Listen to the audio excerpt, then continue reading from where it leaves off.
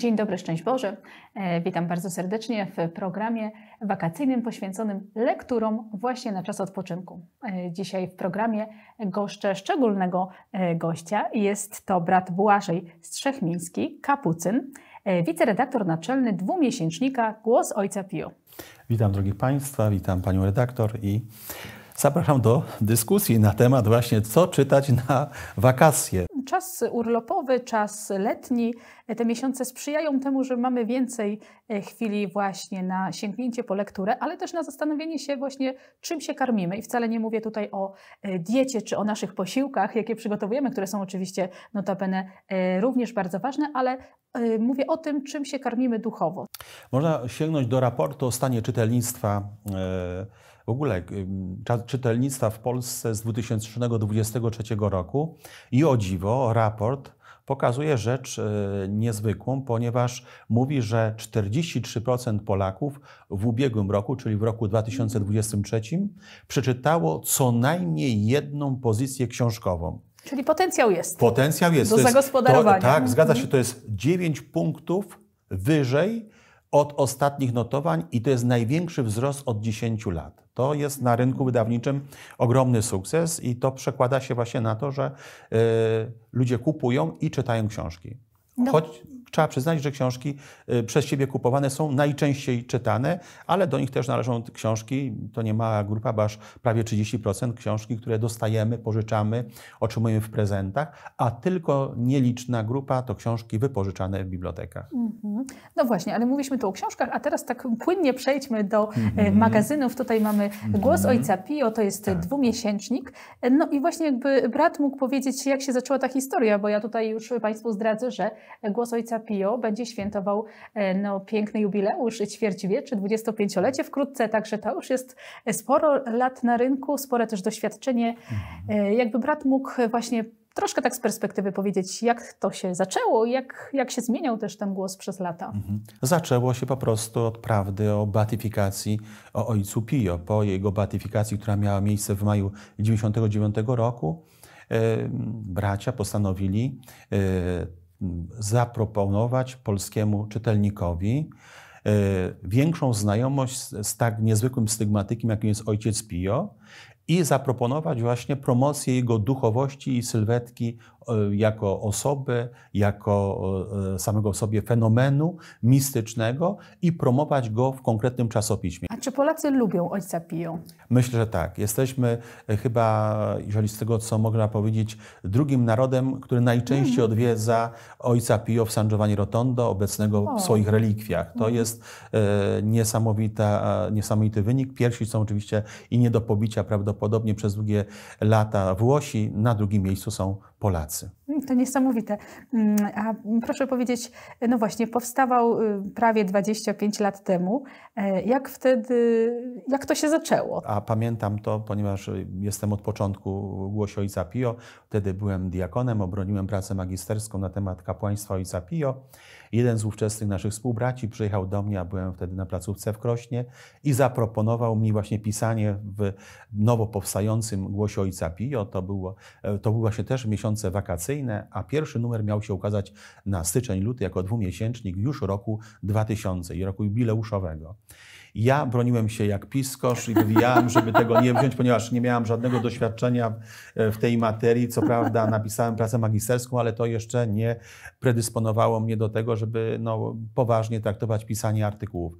I można powiedzieć, że w pewien sposób zostałem nie tyle zachęcony, co przymuszony i z tego powiedzmy przymusu zrodziła się już e, sympatia, pasja, no a teraz to już Ile jest... dobra z tego tak, przymusu, tak, tak, no tak, właśnie. Tak, tak to wygląda. Mm -hmm. A mhm. proszę powiedzieć, kto czyta y, ten dwumiesięcznik? Jaka jest grupa odbiorców? Do kogo trafia? Przede wszystkim to są odbiorcy, którzy odbiorcami są głównie, można powiedzieć, y, y, no, ci, którzy kochają Ojca Pio, czyli mm, czciciele Ojca Pio i to jest, to jest przede wszystkim głos jest skierowany y, do nich, jako tych, którzy kochają Ojca Pio i tutaj będą różne grupy.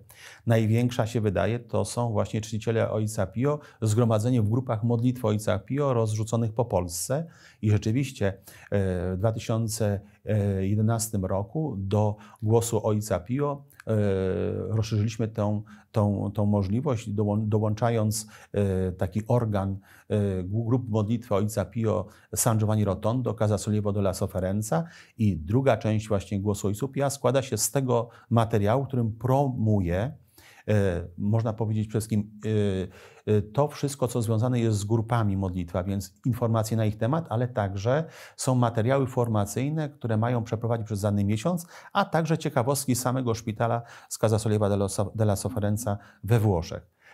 To są to pierwsi odbiorcy. Potem no, to do nich należą ci wszyscy, którzy do grup modlitwy nie należą, ale Ojca Pio kochają. Mhm. Sięgają po książki na jego temat, szukają jakichś e, ciekawych artykułów, a ponieważ w każdym głosie Ojca Pio jest e, e, jakiś artykuł, który traktuje na dany temat, więc można powiedzieć, że co dwa miesiące ukazuje się jakaś nowość, jaka, jakaś, jakaś nowa wizja, jakieś odczytanie, relektura życia lub duchowości świętego Ojca Pio. No właśnie, a ta relektura w obecnym numerze tam był taki tytuł, jakim dzieckiem był ojciec Pio. Bardzo mnie to zaintrygowało. Mhm. No właśnie, jakim, jakim dzieckiem, tak zdradzimy tutaj może e, naszym e, odbiorcom właśnie e, troszkę ciekawostek, jakim był właśnie dzieckiem ojciec Pio? Tajemniczym i chorowitym. Tajemniczym. To są i chorowitym. No taka jest mhm. prawda.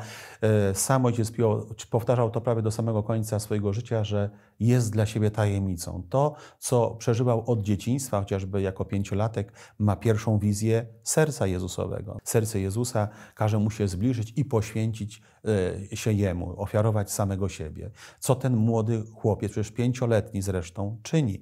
Więc jaka musiała być jego już dojrzałość duchowa i jaka ogromna otwartość na działanie łaski, żeby umieć to odczytać, przyjąć i zrozumieć i przyjąć, prawda? No, normalnie mógł, jako dziecko mógł się przerazić, mógłby zarzucić, e, no, uciec, prawda? A on tak, jednak tak. potraktował ten przekaz bardzo realistycznie. No a także no, jego ciało było, można powiedzieć, jedną wielką też tajemnicą pod względem e, ze strony somatycznej. No, przechodził tak różne choroby, tak różnego rodzaju też badania, później operacje, zabiegi chirurgiczne, że można powiedzieć, że był wciąż żywą raną, żywym mm -hmm. człowiekiem, który był żywą raną. I to się działo już od samego dzieciństwa. Wystarczy przywołać taki epizod, który mi teraz przychodzi na myśl. Jednako młode dziecko jest tak e, schorowany, że rodzice udają się na Piana Romana, tam mieli swój, swoją ziemię, żeby pracować. I on leży w gorączce, od jakiegoś czasu w ogóle nic nie je, nie, nie jest w stanie nic jeść i w pewnym momencie się mm, przebudził i odczuł ogromny głód. I nic nie było w tym domu, bo przecież ojciec pochodził z takiej bardzo skromnej, ubogiej rodziny. Znalazł jedynie tylko peperoncini, czyli taką ostrą paprykę włoską i on się tego najadł. I po tym poczuł się niesamowicie e, taki o, o, ozdrowiony, czy uzdrowiony, czy poczuł się o wiele lepiej i zaczął funkcjonować. I to było takie zadziwiające, że człowiek, taki młody człowiek w gorączce je e, ostrą paprykę i to przynosi mu ulgę, a nawet przywraca mu zdrowie. Mm-hmm. A chciałam zapytać jeszcze, wracając do tego rynku właśnie e, magazynów, tego rynku wydawnictw katolickich, czy, mm, czy my jeszcze chcemy sięgać po papierowe wydania, bo wiemy, że w sieci jest bardzo dużo informacji, bardzo dużo czytamy, korzystamy z tych elektronicznych wersji, ale właśnie czy ten, ten głos, który możemy wziąć, wziąć w dłoń, tak, mhm. przekartkować, mm-hmm. czy jest na to zapotrzebowanie nadal? Można powiedzieć tak, no, żyjemy w dobie, mm, takiego, takich czasach, że każdy z nas posiada internet. Prawie w każdym domu znajdziemy tablet, a na pewno jest komputer, więc nie możemy nie mówić, że e, to medium nie jest obecne, a przez nie także informacje, które do nas napływają. Można powiedzieć też, i taka jest e, też tendencja, że wiele czasopism na przykład coraz częściej przenosi i publikuje e, w internecie, a niektóre już nawet tytuły są tylko, tylko, do mhm. przeczytania w internecie, nie wydawane są na papierze. Oczywiście są różne motywy, e, są ekonomiczne, które okazują się ostatecznie nie do końca prawdziwe, bo jak policzymy mm, VAT na e-booki i policzymy VAT na książkę, to wszystko się wyrówna. Jeżeli do tego kupimy czytnik za niemałe pieniądze, a do no tego tak. potrzebujemy baterię jeszcze. Szybka lekcja rzeczy, ekonomii wydawniczej. To, to szybko się dzieje. Potem, e, potem ekologia e, też taki element wnosi. Natomiast trzeba powiedzieć, że książka wciąż nie przegrywa, czy w ogóle słowo drukowane nie przegrywa mhm. ze słowem, które pojawia się w internecie. A z jakiego powodu? No, można tutaj już wspomniane ekonomiczne są tutaj porównywalne, każdy będzie mm, tutaj bronił swoich racji. E, zdrowotne, bo przecież wzrok się psuje, ale przy czytaniu książki i przy czytaniu jej z, e, ze źródeł powiedzmy internetowych czy, czy, czy cyfrowych również się psuje, a tym bardziej to podnoszą dzisiaj lekarze tę kwestię, żeby ograniczać ilość e, spędzania czasu przed migającym ekranem komputera, a to czy czytnika, który właśnie pozyskujemy informacje jako książki cyfrowej. Co więcej, można powiedzieć na plus dla książki, czy, czy dla słowa drukowanego jest to, że mm, no, ona ma bardzo dużo odbiorców, ponieważ jest to najstarsza forma pozyskiwania informacji. Co więcej, naj, e, autorytety e, naukowe najczęściej sięgają po publikacje drukowane, nie internetowe, w których znajduje się bardzo wiele informacji, często nieprawdziwych, i trudnych nawet do zweryfikowania. Stąd prawdziwym źródłem informacji, najczęściej czy najbardziej wiarygodnym źródłem informacji pozyskiwanej w świecie jest słowo drukowane. Więcej, mówi się, że poprzez druk książka czy czasopismo posiada duszę.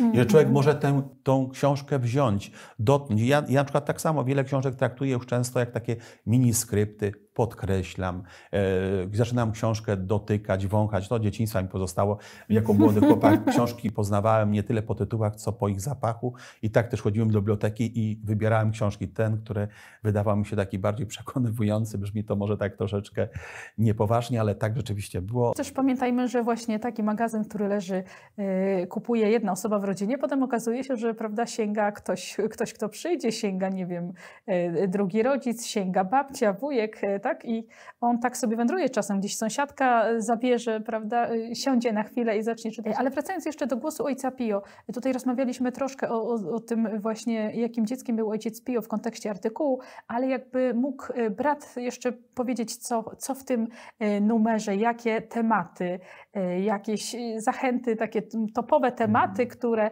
pojawiły się. Szata graficzna bardzo ładna, tutaj prawda, zaskoczenie na okładce jest, więc proszę nas zaskoczyć tym, co jest w środku. Głos Ojca Pio, jak każdy dwumiesięcznik e, wydawany przez nas, ma swój e, co dwumiesięczny temat, a wraz z nim i tytuł. I tutaj mamy niedowiary. I jest to temat wakacyjny numeru, który chce nas prowadzić i pokazać, co w życiu może być niedowiary. I Państwu chciałbym zaproponować może e, w tym chwili takie trzy elementy, trzy wybrałem, bo jest ich więcej oczywiście, ale chociażby trzy takie, które pokazują, że może być coś w życiu niedowiary. No niedowiary na przykład, że jeden z polskich największych bo, bokserów, mi, międzynarodowy mistrz boksu i pięściarstwa, pan Tomasz Adamek, haftuje. I jednym z pierwszych haftów, jakie, jakie, jakie wykonał, był haft który wyhaftował obraz z ojcem Pio. No to jest ciekawa rzecz. Co więcej, ten człowiek modli się na różańcu, e, ma osobiste doświadczenie z ojcem Pio i też walczy o własne niebo. I to jest ciekawa rzecz. I w jaki sposób walczy o własne niebo, e, odpowiada nam w wywiadzie, którym został umieszczony w głosie Ojca Pio i przeprowadzony przez panie, panią Joannę Świątkiewicz. Drugim chociażby elementem, możemy jeszcze o tym opowiedzieć więcej tu Pana Adamku, to jest chociażby e, zakonnica która w XIX wieku po powstaniu styczniowym, kiedy e, klasztor e, zostaje, czy siostry zostają, mm, klasztory są zamykane po kasacie, po powstaniu styczniowym 1863 roku, restrykcje carskie, mm, tak powiem, dotykają także sióstr, to były wtedy felicjanki, one miały taką podwójną formę, jedne były czynne, drugie były klauzurowe. Czynnym kazano, kazano habity, wrócić do własnych domów, a te klauzurowe przeniesiono i przewieziono do klasztoru Bernadynek w Łowiczu i tam zostały przyjęte powiedzmy z dużą rezerwą, a nawet niechęcią i próbują teraz znaleźć swój klasztor dla siebie w tej trudnej sytuacji. I jedna z nich, siostra Bronisława właśnie postanawia, e, e, Bronisława Łępicka postanawia e, pomóc swoim siostrom. Dowiaduje się, że istnieje taka instytucja jak cyfra carska. Sobie tutaj zaglądam, żeby się nie pomylić. Cóż, czym była ta cyfra carska? Otóż ta cyfra carska To była taka cyfra, która pozwalała przy, stanąć przed carem i poprosić go, kto posiadał taką cyfrę, poprosić go w tej trudnej sytuacji o to, co chce, i car, można powiedzieć, nie miał prawa mu tego mhm. odmówić. I gdy któregoś dnia jedna ze sióstr klauzurowych, Felicjanek, będąca w klasztorze Bernardynek w Łowiczu, taką cyfrę otrzymała, siostra Kolumba, przekazała jej właśnie siostrze Bronisławie i ta osobiście udała się do cara w podróż, żeby się mi spotkać. Pojechała do Petersburga, dotarła do jego zimowej rezydencji, dowiedziała się, że on przechadza się rano na spacerze z własnym psem, odważyła, pełna odwagi, modlitwy, wyruszyła z tą cyfrą carską do niego, aby e, spotkać się i mu ją przekazać. Ponieważ w pół drogi zatrzymana została przez jego adiunkta, zaczęła krzyczeć po francusku, bo rosyjskiego nie znała, że jest Polką, wymachując właśnie tą carską cyfrą.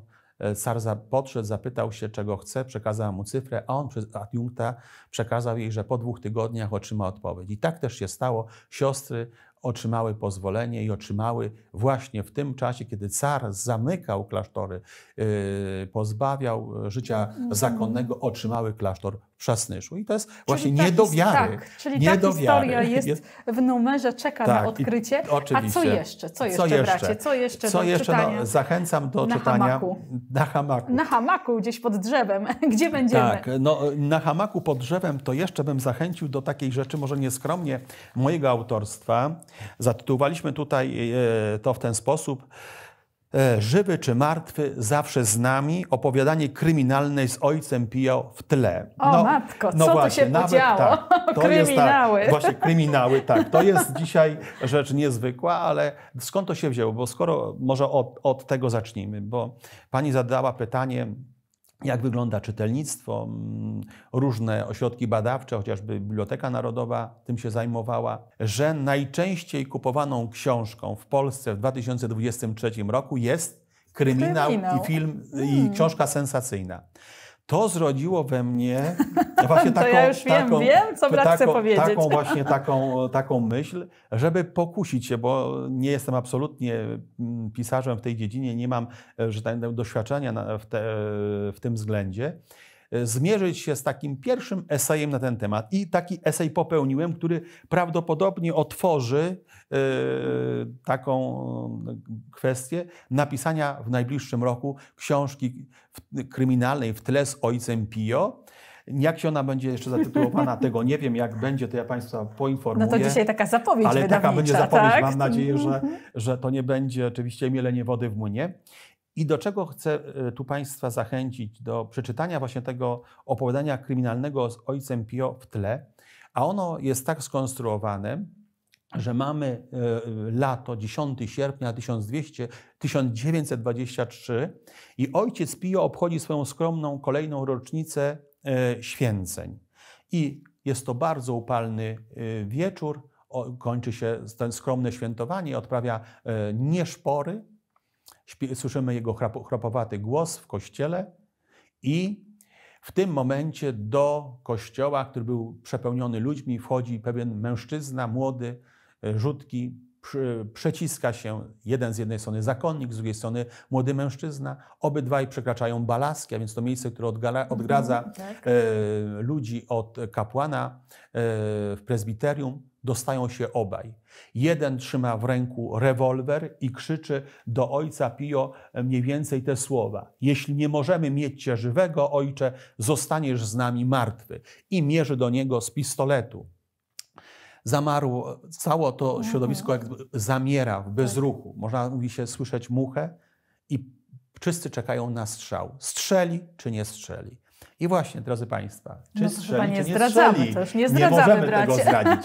I czy rzeczywiście strzał padnie z tej strony, z której się spodziewamy, tego Państwu nie, teraz nie zdradzę, ale do przeczytania i do lektury właśnie w naszym Głosie Ojca Pio w wakacyjnym numerze bardzo serdecznie zapraszam.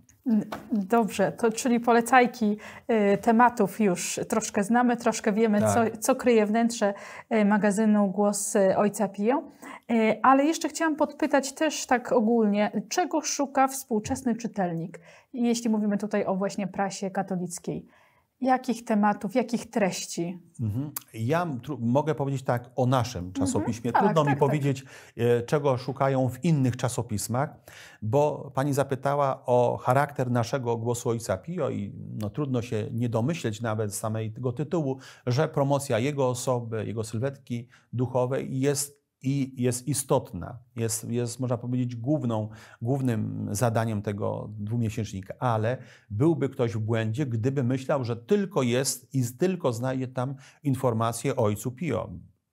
Żadną miarą, a Państwo znajdziecie tam takie materiały, jakby jak, z takich dziedzin jak problemy duchowości współczesnego człowieka mm -hmm. i mhm. próba na Właśnie. nich odpowiadania.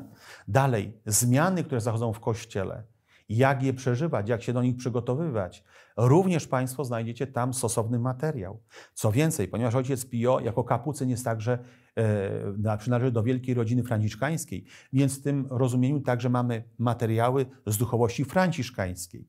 Co więcej, no nie może zabraknąć elementów liturgii, czy mamy przepiękne eseje różnych biblistów polskich, a także naszych kapucynów, traktujące różne zagadnienia e, z wymiaru przestrzeni biblijnej też mamy elementy liturgii, więc już tutaj pokazuję, że spektrum jest ogromne. Ale mm, jak powiedziałem, ponieważ jest to dwumiesięcznik, więc e, w ciągu roku ukazuje się sześć e, publikacji, jego publikacji i każdy poświęcony jest innemu e, tematowi. To jest temat wiodący. Ten rok, ponieważ mamy 800 lat stygmatów świętego Franciszka, on układa się w takiej logice stygmatyków. I tak też ułożyliśmy kalendarz, który jest kompatybilny z głosem Ojca Pio. I znalazłem 12 franciszkańskich stygmatyków mhm. i na każdy miesiąc jest jeden. I proszę Państwa, to jest ciekawostka, wśród tych 12 tylko dwóch jest mężczyzn, a 10 to kobiety. Co więcej, wśród tych 12 tylko cztery osoby są zakonnikami lub kapłanami, a resztę to osoby świeckie. A zatem charyzmat, mhm. charyzmat mistyk, mistyki stygmatów znalazł się w duchowości franciszkańskiej przede wszystkim w rodzinie trzeciego zakonu. I to jest bardzo ciekawa rzecz mm -hmm. i to mhm. Państwa też zachęcam. Też I każdy głos Ojca -hmm. Pio jest poświęcony jakiejś charakterystyce, jakiemuś tematowi danego stygmatyka. No i był jeden stygmatyk od pokory, to będziemy się zająć pokorą. Jest stygmatyk od e, miłości oblubieńczej, taki temat się on znajdzie. Będzie stygmatyk od, e, e, od pokuty, będzie temat poświęcony o pokucie. W przyszłym roku 800 lat pieśni słonecznej. Potraktujemy sześć numerów, które będą mówiły o świecie stworzonym, o pokoju, o siostrze śmierci i tam też już Państwa zapraszam na następny rok. Będą poszczególne numery odkrywały różne zagadnienia. I to jest właśnie ten Czyli pomysł ten, na ten plan na wydawniczy, widzę, u brata mhm. e, już jest zaplanowany dużo do przodu. Tak. No nie możemy stać w miejscu, tak jest. Dobrze, to tylko na podsumowanie, bracie, jeszcze e, chciałabym zapytać, czy e, tą, tą duchowość, to, to, e, tą opiekę Ojca Pio e, czujecie w wydawnictwie, w, w magazynie na co dzień? Jest, jest on z wami tak duchem prowadzi, podpowiada, pomaga w trudnościach? Powiem tak. Nie wiem, co by odpowiedzieli moi współbracia, czy, mhm. czy osoby pracujące w redakcji, bo mamy kilka osób, wspaniałą, znaczy wspaniałą zespół redakcyjny, bardzo jestem im wdzięczny i tutaj ukłon w ich stronę, bo naprawdę bardzo nam się dobrze razem współpracuje od grafików po osoby z takiego, byśmy powiedzieli, public relation, aż przez ekonomię i, i przecież i promocję e, naszych artykułów. Bardzo im za to dziękuję. Czy oni odczuwają, jak to by trzeba było zapytać ich? Ja mogę odpowiedzieć jak gdyby we własnym imieniu. Ja powiem tak, same pomysły, szukanie ich, e, odnajdywanie treści albo inspiracji. Mhm.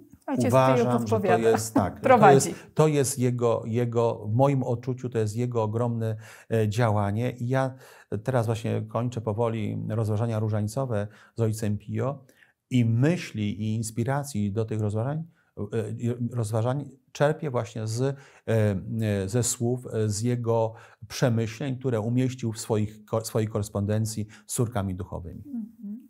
Dobrze, bracie Bożeju, mm, bardzo dziękuję za rozmowę. Dziękuję ja za te dziękuję. E, pomysły na właśnie wolny e, czas i na spędzenie go e, z takim właśnie duchowym, duchowym tekstem. Dziękuję Państwu za uwagę i oczywiście zapraszam, aby sięgnąć po głos Ojca Pio. Najnowszy numer jest już dostępny. Dziękuję z Panem Bogiem. Dziękuję i do widzenia. Bardzo mi miło było. Nazywam się Dorota Niedźwiecka, jestem dziennikarzem EWTN Polska. Chciałam Państwu z serca podziękować za to, że wspieracie Państwo naszą telewizję. To dzięki Wam możemy produkować wciąż nowe programy. Zapraszamy do dalszego wsparcia. Szczegóły wspieram.ewtn.pl